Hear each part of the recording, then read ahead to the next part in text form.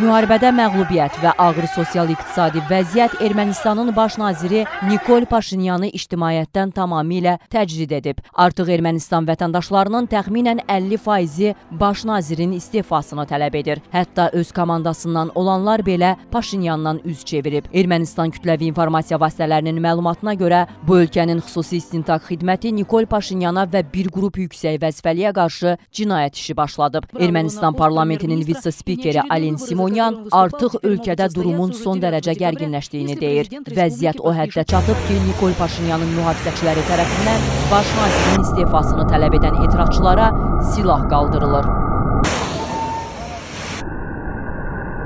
Nəinki 17 partiya, artıq o alternativ namizəd kimi irəliyə sürdükləri qoca Vazgen Manukyan, eləcə də erməni cəmiyyətində ən müxtəlif xarakterli adlı təşkilatlar hazırki hökumətdən kəskin narazılıqlarını bildirirlər. Və real mənzərə ondan ibarətdir ki, artıq indi son tapşırıqları ordunun yerinə yetirməməsi, yəni ələl-xüsus da Paşinyanın ilk günlər cəbhə xəttində olan insanları daxili meydanlara dəvət etməsi və bunun yaratdığı ajitajdan sonra dünən verdiyi tapşırıqları artıq yəni yalnız polis qüvvəsi ilə ə, daxildəki o toqquşmaları yatıra bilməməyinə rəğmən ordunu bu prosesə ə, cəlb etməsi sübut eləyir ki, böhran dərinləşdikcə vətəndaş qarşı durması qaçılmazdır.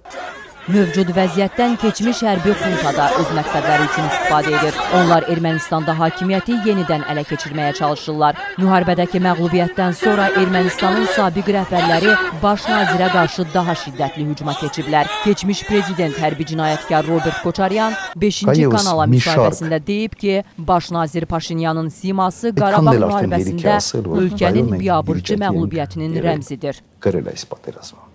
Onların həm keçmiş bütün qüvvələri, siyasi və hərbi e, e, mundir geyinmiş adamları məğlub olub. Həm də gələcəkdə ölkəyə sahib dura biləcək insanlar da irəli dura bilmirlər. Nə Vanetsən, nə Manukyan e, baxmayaraq ki, onlar 10 noyabr məlum razılaşmasının qüvvəsində qalacağını söyləyirlər.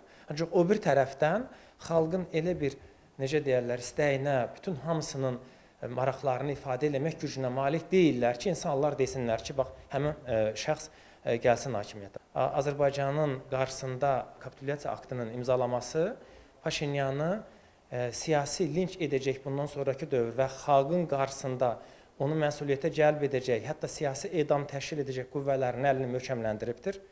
Hazırda Ermənistanda mövcud şəraiti düzgün qiymətləndirənlər də var. Onlar Ermənistanın acınacaqlı vəziyyətdən çıxış yolunu, çökən iqtisadiyyatının bərpasını, Azərbaycan və Türkiyə ilə qonşuluq münasibətlərinin yaxşılaşdırılmasında görürlər. Məsələn, erməni ekspert Eduard Nağdalyan ölkəsinin indiki vəziyyətə düşməsini onun işğalçılıq siyasəti ilə əlaqələndirir və 2-ci Qarabağ müharibəsindəki məğlubiyyətini Ermənistanın Azərbaycanın 20% ərazisini ələ keçirməsinin məntiqi nəticəsi hesab edir. Yeni təyin edilən İqtisadiyyat naziri Vahan Kirobyan Qarabağla əlaqədar əldə edilən üç tərəfli razılaşmanın regionda ticarət üçün yeni imkanlar açacağını, gələcəkdə Ermənistan mallarının Azərbaycan bazarına çıxarılması nəticəsində əhalinin rifahının yaxşılaşacağını proqnozlaşdırır.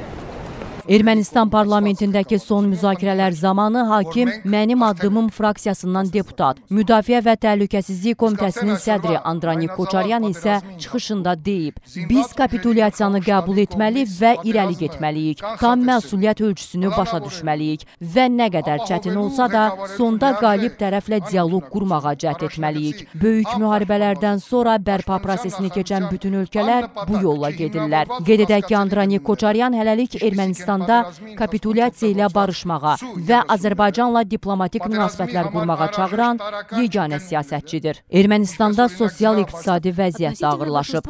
Bu, ölkəni demoqrafik fəlakətlə üz-üzə qoyub. Müharibədəki məğlubiyyət isə bu prosesi daha da sürətləndirib. Ermənistanın Milli Statistika Xidmətinin məlumatında bildirilir ki, cari il yanvarın 1-nə olan məlumata görə Ermənistanın daimi əhalisinin sayı 2 milyon 959,7 min nəfər təşkil edib. 2019-cu ilin əvvəli ilə müqayisədə ölkə əhalisinin sayı hazırda 5,6 min nəfər, yaxud 0,2 faiz azalıb. Hazırda Ermənistanın xarici dövlət borcu ümumi daxili məhsulun 60 faizindən çoxdur. Bu isə ölkə iqtisadiyyatının tənəzzülü deməkdir.